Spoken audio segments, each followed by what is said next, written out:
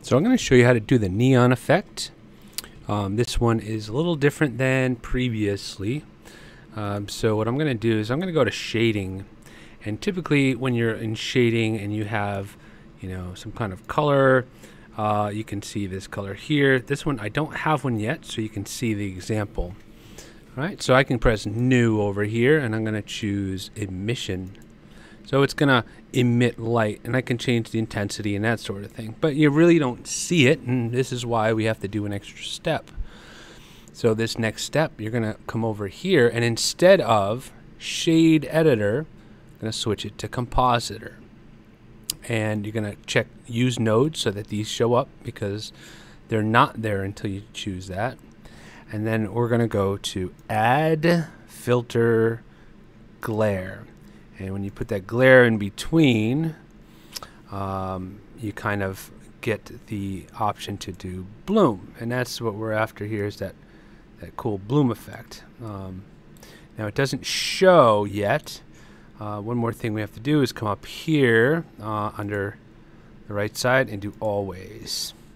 All right, so that one more time, we're going to say compositor always and what you get is this bloom. Now we could dial it back. There's different settings for getting it to look good. Of course, uh, you're gonna have to play around with that. These two. So this one here, and of course this one under the glare uh, modifier. So you can see that it's kind of doing its thing. Uh, we can change its color because you want, say, LEDs, and shrink it down, scale it down, and be like, hey, look at that. And for example, I did that here uh, with these, um, you can see I probably should add some more glare to it. There we go. Um, so that's how you make the LED. So you can, you know, it could be any shape you want. So like a strip would be, you know, rectangle, or you can, you know, make these real small like this. You know, maybe intensify. Oops, careful, careful on that. You know, like that.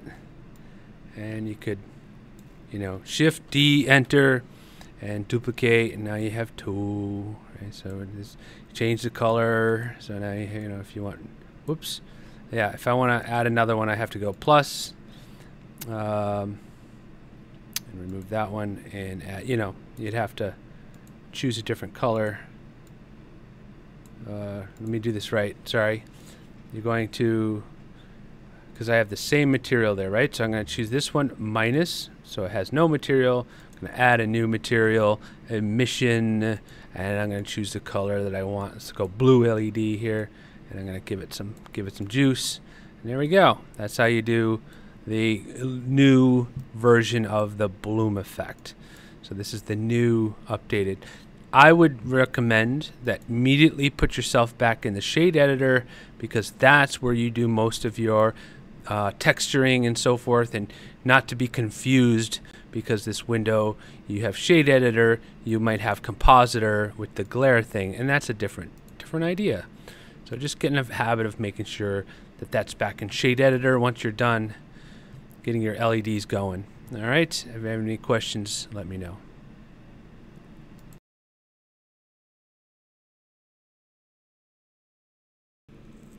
All right now with the spaceship the idea is this. In edit mode we're going to click on a surface, E, enter, S, scale it in, right? Maybe E, enter, push it back. And then maybe one more time, E, enter, S, scale it down. Whoops, careful, not too much, not too much. That. And then maybe just pull on it to make a thruster looking thing, right? So coloring this, we're going to go to our shaders, Let's go to actually let's go to shading. All right, I'm gonna color the entire spacecraft one particular color, whatever it is. But now, what I'm gonna do is I'm going to say plus new, and I'm gonna choose emission. All right, I'm gonna choose like a fiery red maybe. Give it some oomph. And now I need to do is go to compositor. Use nodes, add, filter, and glare. Drop it in. Choose glare. Or sorry, choose bloom. And over here, we make sure we say always. Now let's see if I did this right because I should be able to increase the power here. Uh, oh, sorry. Assign. That's right. The magic. Because if I have this selected and I check assign, it's going to assign the blue. But actually, I want to assign the cool thruster. There we go. I'm going to back it off to something like that. Now, the same could apply to, say, a window. Let's say I have, oh, I don't know, maybe this one here. I'm going to go to plus, new, choose emission. I'm going to choose a yellow color and assign. And let's see if I turn this up. There we go. We got some light there. Not too bad. Something like that. So we got the red in the back, the yellow in the front. On the side of the ship, I'm going to do is, uh, you know, subdivide this a bit. I'm going to hold shift and click a few of these maybe. Go to plus, new, and again, emission. I'm going to choose a red, or actually, yeah, red, and assign. Give it some, give it some pump there. See? So now I have cool looking ship.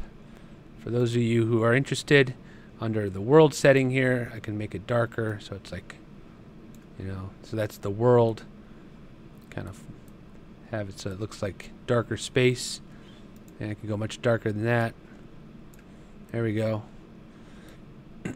so that's that idea for some of you you may not have object mode you may not have enough lighting right so I have this one light here that's helping me see but if you have to uh, watch if I go back here you will see that it affects how this looks, right?